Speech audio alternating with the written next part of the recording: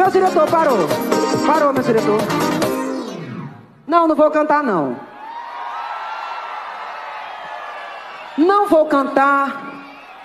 Não sou obrigada.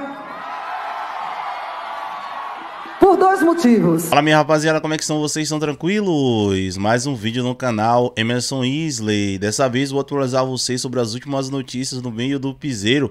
Inclusive falar sobre essa suposta volta aí de Xande Avião e DJ Ives que vem repercutindo demais nas redes sociais nessas últimas horas. Mas antes de ir ao conteúdo, eu gostaria de deixar aqui para vocês um trechinho da nova música de trabalho da banda Electro Vibe. Recentemente ele lançou sua nova música de trabalho que se chama Menina Malvada. A música é essa que vem viralizando nas redes sociais, mais precisamente lá no TikTok. Essa banda já faz bastante shows aqui em São Paulo e tem aí na produção Surya Records, um dos maiores produtores musicais aí de pagode, de, de forró também. Inclusive, Surya já produziu um CD de Nelson Nascimento. Ele também participou aqui de um bate-papo em nosso canal e tudo mais. Eu achei muito interessante essa música e resolvi mostrar aqui para vocês. Deixa eu te dizer, deixa eu te falar. Meu Meu colo tá pronto. Pois é, rapaziada, essa é a nova música de trabalho aí da banda Electro Vibe, música muito top. A música que já foi meio que feita direcionada aí para as dancinhas do TikTok. Inclusive, nós vamos falar sobre esse assunto de TikTok que vem repercutindo demais aí nas redes sociais também. Mas enfim, rapaziada, só para lembrar para vocês que o link dessa música está aqui na descrição, caso você queira ir lá ver ela, ela tá muito top, vale muito a pena conferir, beleza? E como eu falei para vocês anteriormente, vamos voltar a falar sobre o DJ Ives, como vocês sabem, o nome dele nesses últimos dois dias voltou, voltou aí a ser bastante falado nas redes sociais. No dia de ontem eu trouxe um vídeo aqui no canal falando que ele tinha fechado ali uma parceria com Gustavo Lima, ou seja, Gustavo tinha gravado uma de suas novas é, composições aí é, no são João de Alagoas e essa música que Gustavo foi lá e gravou é composição de DJ Ives ali juntamente com o irmão de Gustavo Lima. Esse assunto, sem sombra de dúvidas, foi um dos que mais repercutiu no dia de ontem. Porém, rapaziada, no dia de ontem também DJ Ives postou lá nos seus stories no Instagram é, alguns stories falando algumas coisas e depois por lá e postou é, Xande Avião cantando essa música também. E aí as pessoas começaram a falar diversas coisas. Eu vou mostrar para vocês esses stories aí. E aí, família? Bom final de semana para todos nós. Estou passando aqui para confirmar que Fala Mal de Mim explodiu de verdade. Tá viralizando em todos os repertórios. Então fica atento aí nos próximos stories. Pode pode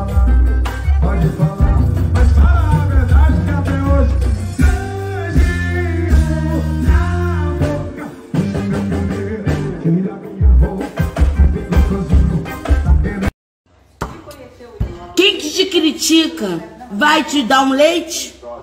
Não. Quem te critica vai pagar um boleto? Não. Quem te critica vai fazer uma conta, uma compra no mercado para você? Não. Quem te critica vai te ajudar em alguma coisa? Não. Então quem te critica tem que ir pra onde? Pra puta que pariu. E aí, família? Bom final de semana para todos nós. Estou passando aqui para confirmar que Fala Mal de Mim explodiu de verdade. Tá viralizando em todos os repertórios. Então fica atento aí nos próximos stories. Pode falar,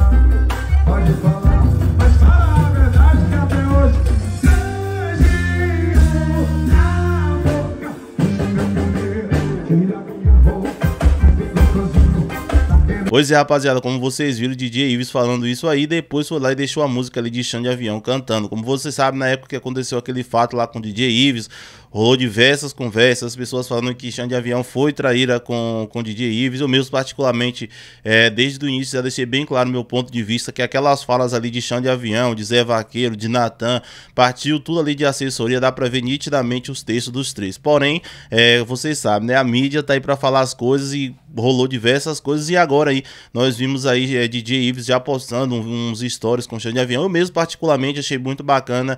E o nosso meio é isso, cara. Eu acho que é,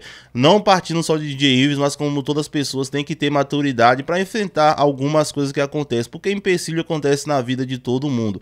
Eu acho que o DJ Ives já tá na hora de voltar, e como ele já voltou com suas produções, inclusive, é, eu, eu, acredito que o DJ Ives ainda tem uma parte ali no projeto de Zé Vaqueiro, então estão todo mundo ali junto e misturado. Eu mesmo, particularmente, sou a favor da música boa, e se for para o DJ voltar a produzir geral, como ele já voltou a produzir e trazer música boa, isso que, isso que importa, e é, eu acho que o importante de tudo mesmo é o Piseiro continuar aí fazendo sucesso nos próximos anos. Mas enfim, rapaziada, o que é que vocês acham aí de uma suposta parceria de Xande Avião e DJ Ives? Essa parceria, particularmente, já está acontecendo, né, rapaziada? Porque como vocês viram ali, Xande Avião colocando a música no repertório, aparecendo nos stories de DJ Ives. Supostamente também essa música aí de Xande, que Xande Avião tava cantando, se ele for colocar no repertório aí, foi produzida por DJ Ives.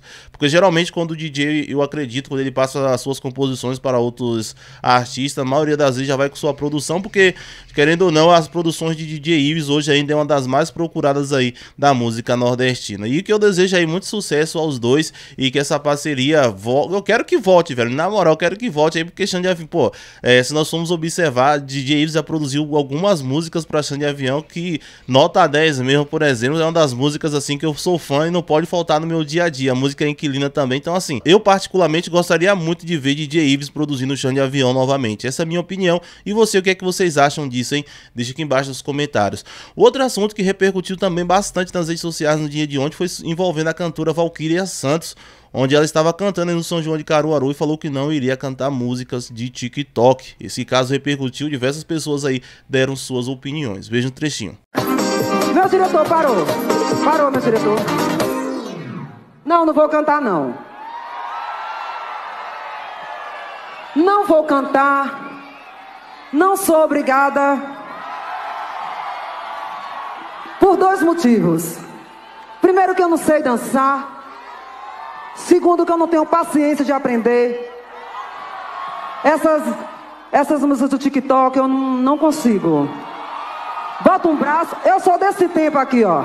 Segura o tchan, amarra o tchan, segura. Amarra o tchan, segura. Aí esse negócio, não sei o que, uma mão. Não, não consigo.